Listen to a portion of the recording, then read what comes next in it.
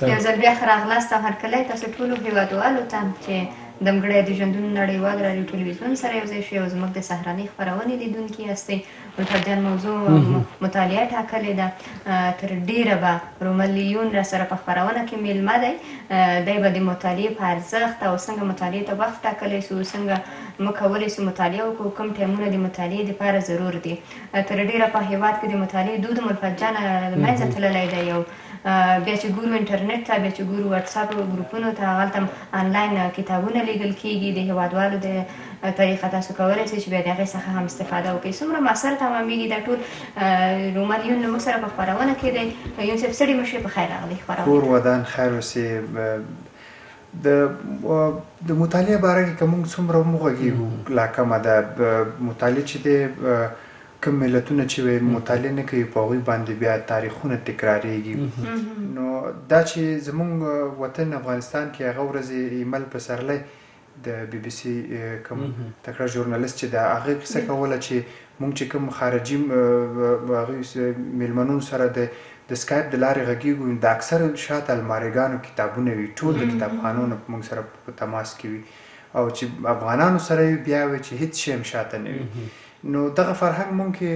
ډېر کم دی او یعنې تقریبا د نورو کلونو اوس ډېر ښه شوی ده، خو په عموما کې ډېر کم ده. مطالعه داسې یو څیز دی که یو انسان وغواړي چي مثلا دی یو ښه باډي بلډر اوسي نو هغه یې ځي کلب ته نو که یو کس وغواړي چي خپل مغزو ته یا خپل ذهن ته یو په همدغه ورزش په شکل کي یو تمرین ورکړي نو هغه بغیر د مطالعې نه ممکنه نه ده دا چي اکثره ملګري په دې باندي دي ډیری داسي دي چي مثلا موږ او تاسو دا مطالعه څنګه شروع وکړو د مطالعې دپاره په عموما کي د دغه بخش کوم سپیشلستان چې دي دوی دا په شپږ روشه تقسیم کړی ده چې دغه شپږ روش نه موږ تاسو کوی شو چې مطالعه ښه وکولای شو یو داسته یو روش دا ده چې کتاب وای بدون د یاداش نه یو څو کتاب راخلی هم داسې وای چې ځان سره کوم پوینټونه نه اخلي چې دا تقریبا یو ښه روش نه ویل کیږي ځکه ته ځان سره چې پوینټ وانه خلی بیا ته نشې کوی چې د کتاب نه یو ښه شی خپل حافظې ته وسپاري. دویم روش چې موږ سره دی هغه داسې دی چې دا روش تقریبا یو څه ښه دی چې دا روش چې دی د هایلایټ یا کوم ځای نقاط چې دی هغه ته ځان سره پوینټ کوي چې دې کې بیا د دې یو مشکل دا دی د دې روش چې اکثره دغه کوم ویونکي یا لوستونکي چې دي دوی دغه مقالې یا دغه متن هغه عکس ته نه ګوري خو زر هغه هایلایټ کوي بیا هغه لکه مقطی د په ذهن کې پاتې کیږي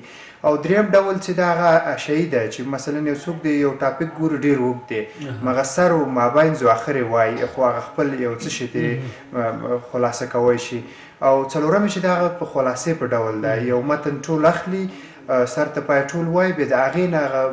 هغه د هغې مهم چې چې د خلاصه د هغه راخلي او پنځم ډول چې دی دا مو سره کلیدي ده چې دا تر ټولو ښه ډول ده هغه کلیدي پوینټونه اخلي یعنې ډېر نه اخلي او مغه خپله حافظې ته سپاري او شپږم ډول چې موږ سره دی هغه داسې دی چې دا تقریبا د خلاقیت په شکل دی پوینټونه اخلي او څه خپله مور سره اضافه کوي او دا په ذهن کې ځان سره ډېر تمرین کوي په خوله یې وه وای تر څو د خپل دغه ټاپک نه یو څه شی واخیستلای سي نو د مطالعې فرهنګ په خاطر باندې چې څنګه وشي کولی چې دا فرهنګ موږ او تاسو په خپله جامع کې بله د تبیین سره بیا راځو په دغه باب خبرې کوو دغه ټول روشونه چې تاسو یاد کړل ستاسو نظر چې په دغه وخت کې چې قرنطین ماحول دی ډیری کسان تخصصي مطالعه نه کوي کنه مثلا یو کس دی له یوې رشتې فارغ دی غواړي چې په بله کې مطالعه وکړي معلومات زیات کړي یعنی د نورو رشتو نه څخه مطالعه کیږي وخت زیات دی کتابونه لږ وي طبعا په کورونو کې کتابخانې تر زیاتې کچې پورې خلاصې نه هر ډول کتابونه یو څوک غواړي چې ولولي طبعا ستونزو سره مخ کیږي که دغه تر ټولو غوره روش ورته ور وپیژنئ چې څه ډول دوی هغه مطالعه وکړي له کوم روش څخه ګټه واخلي. الفت صاحب دا ډېره مهمه پوښتنه ده دا هر ویونکی یو رقم نیچر نه لري یعنې هر ویونکی ځان په یو شکل نه ښه احساسوي اوس که تاسو وګورئ دوه کسانو چې کې کېنوي یو دا خوښوي چې په میز ناست وي مطالعه وکړي یو دا خوښوي چې به د لږ ډډه وهلي او دا مطالعه وکړي یعنی مطالعه داسې ده چې به په ډېر غټ فکر وشي داسې څوک ونه که زه د فزیک برخې یو سپیشلیست یم نو زه به طبعا په دې فزیک برخه کې دغه وکوم یعنی دوی کولای شي چې دا مطالعه دوی په ډېر جګه سطح یعنی په مختلف ډول سره وکړئ اوس دغه کارنتین چې کوم موضوع ده دا اوس ډیر یو ښه وخت ده د مطالعې لپاره یعنی داسې وخت دی چې څو هر څوک په هر سکل ځان دا کوی شي برابروی شي د چې په هر څه کې په غټه پیمانه سره مطالعه وکړي خو د مطالعې په خاطر باندې دلته زمونږ په یعنی مونږ خپل مملکت خبره وکړو دلته اکثریت داسې دي چې ډیری ځوانان داسې وایي چې زموږ په مطالعه کې زړه تنګېږي، نه شو کولای چې کله کتاب راواخلو نور مو بس خسته کوي مو. نو اوله کې د مطالعې په خاطر چې غواړې ته یو ښه لکه ویونکی شې چې کتابونه مطالعه کې اول شروعات به داسې ونه شي چې ته یو کتاب راواخلې فکر وکړو لکه داسې کتاب ته راواخلې چې هغه د تخصص د برخې وي هغه بیا تا ډېر خسته کوي یعنی شروعات به داسې ټاپکونه وشي او داسې ناولونه لنډو لنډو کې څونه وشي چې در څو ته د دې مطالعې سره دلچسپي پیدا کړي بیا سلو سلو پې ورځي که یو ځل مثلا ته د سیو کتاب راخلي چې هغه تا د سطح نه ډیر جګ وي او بیا ګوري او بیا د هغه خسته کوي او مطالعه خواص لري که یو ځل د زړه تې بد شو بیا چې هر څوک هر څومره درته ووایي بیا ته مخته نه ځې خو د مطالعې د پاره چې مونږ ګورو در ټولو مهم داسې دی چې اوس دلته په افغانستان کې یو مشکل دا ده چې خلکو اقتصاد ضعیفه ده د مطالعې دپاره هغه نړیوال چې کوم سټنډرډ ښي هغوی وایي لکه خاص هغه هغوی داسې وایي چې مثلا ډیر باید آرامه ځای ډیر راحت ځای هغلته باید د هر څه اواز نه وي دغه کوم نور چې په هغه اتاق کې هغه باید ډیر طبیعي نور وي او همدارنګه ته باید په مطالعه کې چې کوم ځای انتخابوي هغلته شور نه وي یعنې دغه ټول د دې په دې کې موږ سره مرسته کوي چې موږ یو ښه ویونکي اوسو خو په عموماً کې که موږ په دې باندې وغږیږو چې مطالعه په افغانستان کې اکثریت ملګري په داسې فکر کوي چې ته ورته چې مطالعه وکړه هغوی وایي چې یاره کتابونه ډېر جګ دي او موږ کتابونه نشو اخیستلی دغه بیا دغه مطالعې بهانه ده لکه څنګه چې ماشومان مکتب ته په تلو باندې یو بهانه جوړوي چې زه نن نشم تللی دا کوم نو دا بیا د خلکو یو بهانه ده چې موږ نشو کولی چې کتابونه واخلو ځکه موږ د هر رواج په خاطر پیسې لرو د هر فیشن په خاطر پیسې لرو وخت چې خبره د مطالعې کېږي بیا موږ پیسې ورته نه لرو دې ته هم راځو یو صاحب چې ډېری وختونه مثلا په بیروني ماحول کې مطالعه کیږي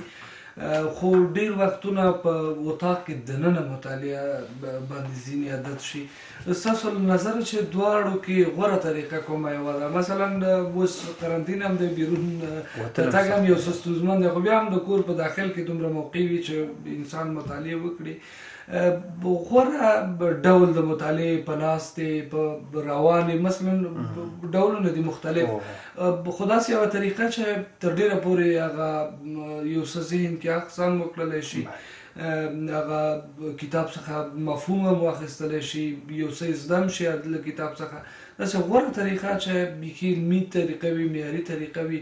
او یو د چا سره هم ورباندې درد ونه کړي ډېری وختونه مطالعه سره هم په درد وي ستاسو نظر چې کومه یو ما د نظر ډیری ملګری به ځان یو ځای ته محدود نه کی ډیری ملګری د ستې چې هغه یو اتاق ټاکل یو په مخ کې متعلق بیل بیل چیرته نه زی وس که فکر وکړو تلاړې د هلمند بست کلا ته لاړې د هغې دیدن ته لاړې د بست کلا ته چې لاړې هغه یو تاریخي ځای ده که هغلته تا سره یو کتاب وي د مغې اړوند په هماغه ځای کې کینې هغه مطالعه کې نو هغه به یو څه ډیر نسبت دې ته چې ته په کور کې ناست اوسې یو څه ډیر به یې تا ذهن ته راولي یا فکر وکړه باران دی باران دی او د تا زړه غواړي چې مثلا چمن کې کینې نو ته کوی شی چی ځان سره یو چتری ویسی او هلته لاړ شی نسبت د هغه چی تا ځان هلته محدود کړی ده هلته به ته ډیر زیات د دی اغز وشی کولای نو د دی هغه باندی لکه ځان ته یو ځای پوری محدود کول ندی په کار بل د مطالعی کی دی کی وختونه ډیر مهم دی چی په کوم وخت کی باید مطالعه وشی ډیری ملګری په سهار نه مطالعه کوی او ډیری یی تر شپی کوی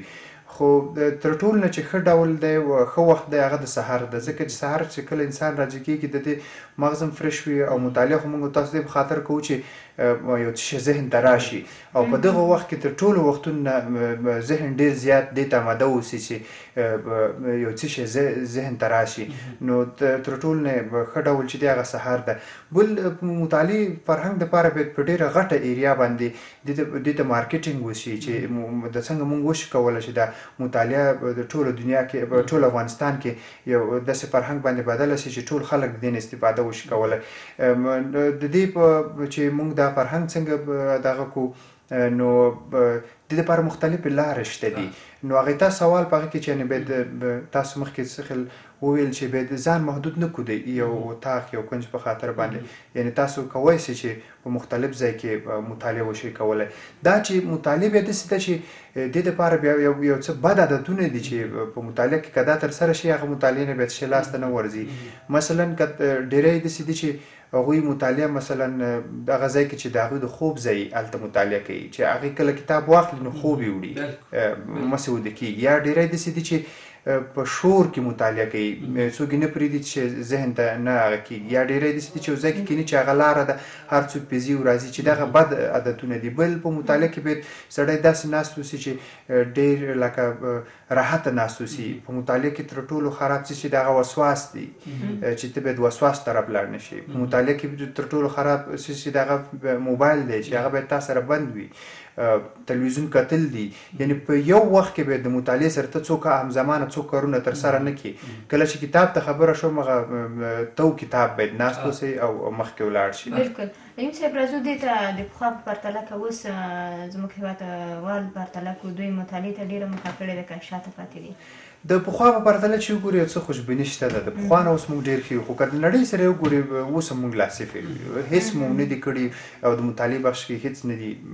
شوي. دلته ټول مقصر چې دی زموږ معارف وزارت دی او تحصیلات دي، دوی د دې لپاره ښه مارکېټنګ ونه شوه کولای. زموږ که وګورو ما هغه ورځ یو ټاپک کته په